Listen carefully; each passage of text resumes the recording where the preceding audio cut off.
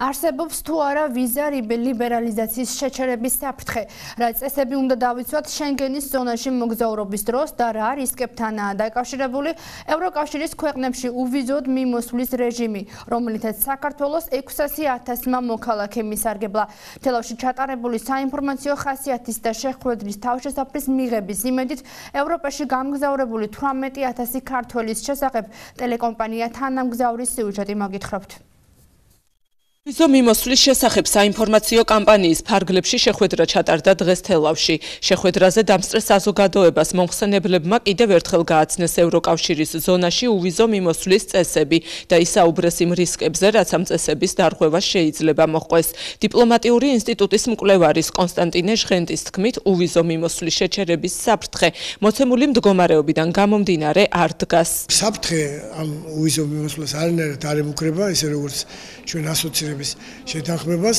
შემდეგ რაც უსაფრთხო ქვეყნად გამოაცხადეს საქართველოს ევროპის უმეტესმა სახელმწიფომ და მათი ნაწილი კიდე გამოაცხადებს, პრაქტიკულად აღარ რჩება საქართველოს მოქალაქეს საფუძველი რომ მიიღოს იქ თავშესაფარი. საგარეო საქმეთა სამინისტროს საკონსულო დეპარტამენტის დირექტორის ინფორმაციით ვიზა ლიბერალიზაციის შემდეგ 2017 წლის მარტის შემდეგ სტატისტიკის მიხედვით თავშესაფარი ევროკავშირის წევრ ქვეყნებში დაახლოებით 18000-მა საქართველოს მოქალაქემ მოითხოვა. არასწორი ინფორმაცია ხშირად არის საზღვარგარეთ ვინც იმყოფება მათ შორის არალეგალურად ისინი ასე ვთქვათ მიწვევენ თავიანთ მეგობრებს ან ნათესავებს და თავაზობენ რომ დაეხმარებიან სამუშაოს მოძებნაში და სამწუხაროდ მათ არ აქვს სრულყოფილი ინფორმაცია.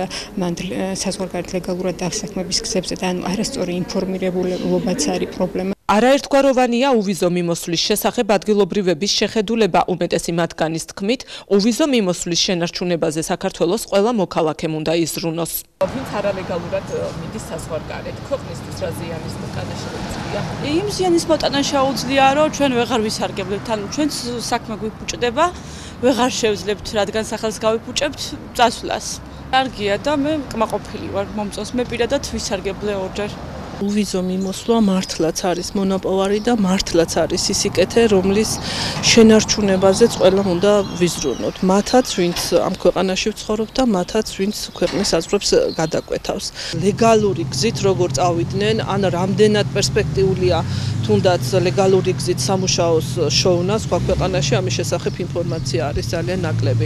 ძალიან კარგია. უვიზო მიმოსვლასთან დაკავშირებით ზუსტად ეხლა ავიღე საფრანგეთის ბილეთი, ერთი კვირით უნდა წავიდე და ძალიან ძალიან ბედნიერი ვარ, ვიზა რო არ ამჭირდება.